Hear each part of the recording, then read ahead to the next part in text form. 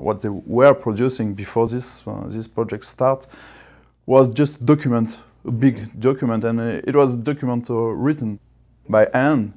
The, the, idea was to try to make this process something automatic.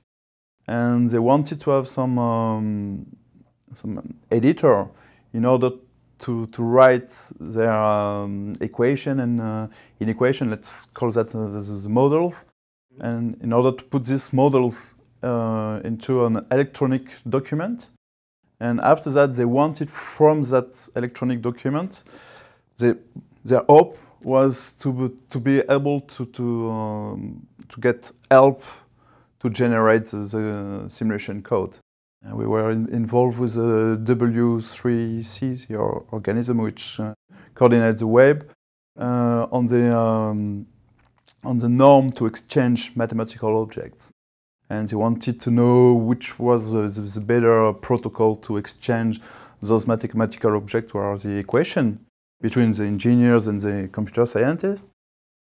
And uh, all they, they explained us what they wanted to do. And most of the things they wanted to do was feature already were existing in Mathematica. Because we have some language which describe the, our physical model, and we want to turn that uh, this language in, into uh, into C code or into Fortran code. So it's a little bit like a compiler, but it's compiler with with uh, input language which is very uh, very loose and uh, very um, easy.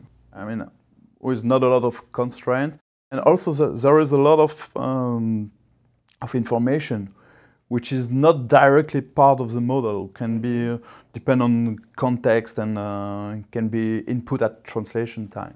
I extensively use rules for programming and uh, and also the, all the kind of paradigms, uh, programmation paradigms we have in, in Mathematica, and that that make it very um, very easy to to implement because it's very rich for that the fact of generating the, the, the simulation code instead of writing it um, allow to reduce the step of testing the resulting code.